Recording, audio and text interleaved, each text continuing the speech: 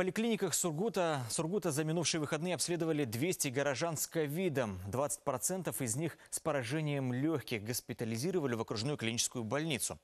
Кабинеты неотложной помощи и томографы в амбулаториях Сургута и Нижневартовска, напомню, теперь принимают пациентов круглосуточно.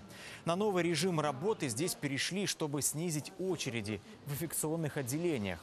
Пройти обследование югорчане могут по направлению врача. Направление в амбулатории медики дают после осмотра на дому.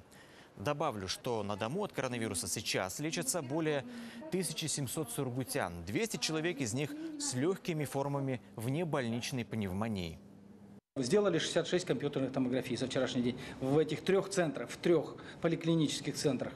Вот 66 компьютерных томографий сделано. Из них 27 это были поражения легких до, 20, э, до 25% и порядка 29 человек это уже более 25%.